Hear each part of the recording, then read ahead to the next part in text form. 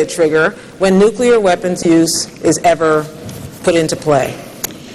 Uh, Nuclear weaponry, of course, would be uh, the be-all, end-all of just too many people and too many parts of our planet, so those dangerous regimes, again, cannot be allowed to acquire nuclear weapons, period. Our nuclear weaponry here in the U.S. is used as a deterrent, and that's a safe, stable way to use nuclear weaponry. But for those countries, uh, North Korea also under Kim Jong-il, we have got to make sure that we're putting the economic sanctions on these countries and that we have friends and allies supporting us in this to make sure that leaders like Kim Jong-il and uh, Uh, Ahmadinejad are not allowed to acquire, to proliferate, or to use those nuclear weapons. It is that important. Can we talk about Afghanistan real quick also, though? Certainly. Okay, I'd like to just really quickly uh, mention there, too, that uh, when, you, when you look back and you say that the Bush administration's policy on Afghanistan perhaps would be the same as, as McCain, and, and that's not accurate. The surge principles, not the exact strategy, but the surge principles that have worked in Iraq need to be implemented in Afghanistan also, and that perhaps would be a difference with the Bush administration. Now, Barack Obama had said that all we're doing in Afghanistan is air raiding villages and killing civilians.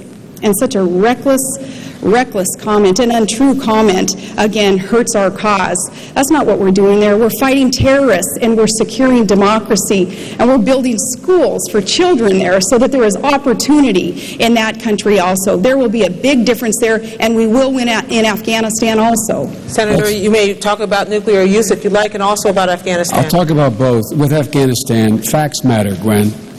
The fact is that our commanding general in Afghanistan said today that a surge, the surge principles used in Iraq will not, well, let me say this again now. Our commanding general in Afghanistan said the surge principle in Iraq will not work in Afghanistan. Not Joe Biden, our commanding general of Afghanistan. He said we need more troops, we need government building, we need to spend more money on the infrastructure in Afghanistan. Look, we have spent more money, we spend more money in three weeks on combat in Iraq than we spent on the entirety of the last seven years that we have been in Afghanistan building that country. Let me say it again. Three weeks in Iraq, seven years, seven years or six and a half years in Afghanistan. Now that's number one. Number two, with regard to arms control and weapons, nuclear weapons require a nuclear arms control regime. John McCain voted against the comprehensive nuclear test ban treaty that every Republican has supported. John McCain has opposed amending the nuclear test ban treaty with an amendment to allow for inspections. John McCain has not been has not been the kind of supporter for dealing with and by the, let me put it another way. My time's almost up. Barack Obama, first thing he did when he came to the United States Senate, new senator, reached across the aisle to my colleague Dick Lugar, Republican, and said, We've got to do something about keeping nuclear weapons out of the hands of terrorists. They put together a piece of legislation that, in fact, was serious and real. Every major, I shouldn't say every, on the two at least that I named, I know that John McCain has been opposed to extending the arm control regime in the world. Governor.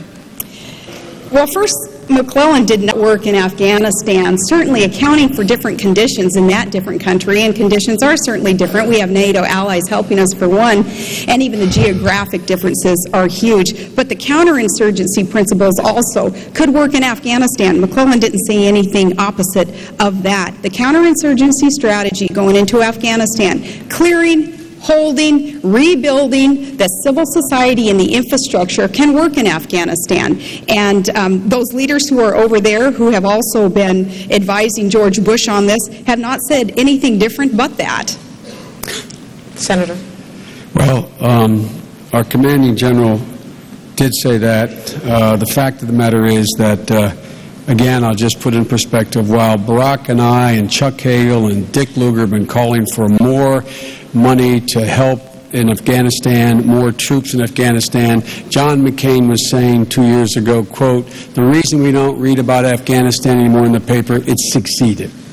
Barack Obama was saying we need more troops there. Again, we spend in three weeks on combat missions in Iraq more than we spent in the entire time we have been in Afghanistan.